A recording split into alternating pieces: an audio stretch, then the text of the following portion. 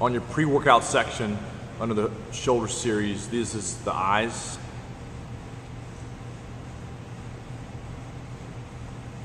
Then it'll go into T's.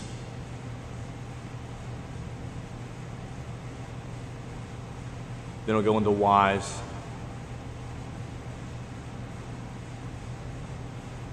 This next one here is external rotation.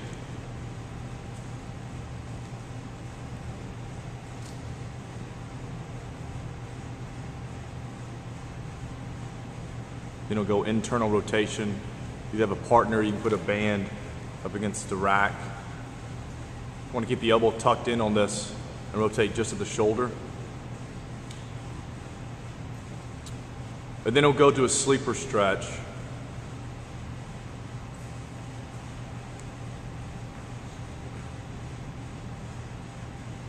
If you don't have access to bands, you can also use plates.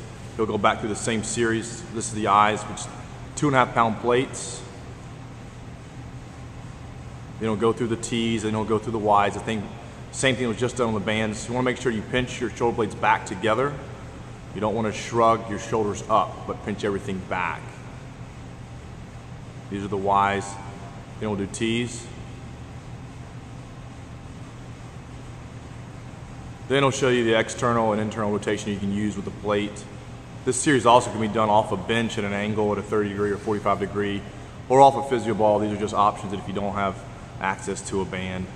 So the external rotation, then I'll do internal rotation, laying on the ground.